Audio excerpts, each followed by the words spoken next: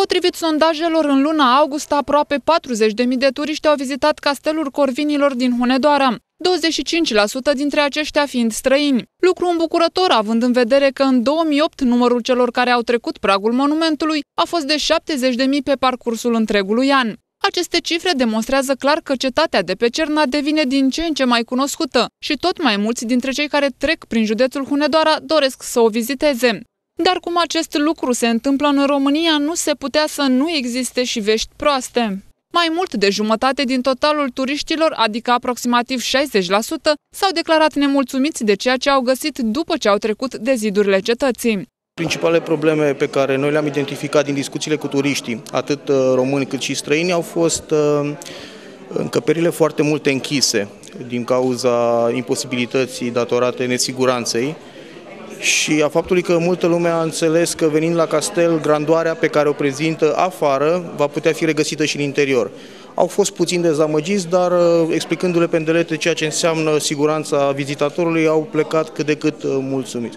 O altă problemă de care s-au plâns turiștii a fost lipsa parcărilor. Deși există loc de parcare, aici în cap doar 25 de autovehicule, în timp ce, în plin sezon, la orele de vârf, există sute de turiști care vizitează monumentul în același timp, mulți dintre aceștia venind cu mașini proprii pe care trebuie să le lase în locuri nesigure, parcate pe marginea străzilor din apropiere. Totuși, aceștia sunt norocoși că ajung la monument, având în vedere că una dintre principalele probleme de care s-au mai plâns turiștii a fost lipsa indicatoarelor care semnalizează monumentul. O altă problemă, dar asta este națională, este panotajul deficitar. Panotajul pentru că turiștii care vin din Occident către, către România vin și până să ajungă la castel găsesc, dacă nu mă înșel, doar două panouri, dintre care unul de la Deva este căzut Uh, noi am încercat acum uh, trei ani să facem un uh, banner mare la intersecția de la Sfântul Halm, prin care am panotat cu un indicator către castelul de la Hunedoara și a faptului că odată intrați în oraș, panourile pe care noi le avem puse de către primărie și de Consiliul Local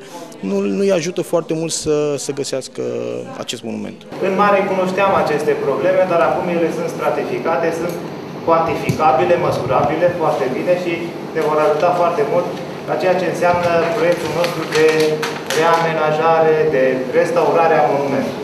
Sperăm ca împreună cu toți factorii, ONG-urile, primăria, să putem realiza într-o perioadă destul de scurtă de timp, 2-3 ani, o schimbare la față a castelului. Potrivit reprezentanților administrației locale, castelul Corvinilor generează principalele venituri la bugetul local iar cei aproximativ 40.000 de turiști care au vizitat monumentul în luna august au adus venituri la bugetul local al municipiului Hunedoara de 4 miliarde de lei vechi.